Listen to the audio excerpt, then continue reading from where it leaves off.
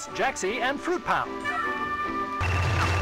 Say, fellas, aren't you tired of playing the same old high-tech 3D video games with realistic blood and tits? Yeah! Why not try playing Dr. Tran's Peanut Butter Square Hula Quest? It's new from GameCack. What is it? It's a brand new board game for the whole family. Wow! Real peanut butter squares! now you've got it. Just roll the dice, spin a hundred, and win a hand job from Jerry Mathers.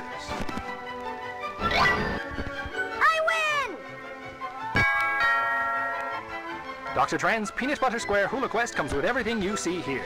Ages 5 and up. And it says Dr. Tran on it, so you know it's good.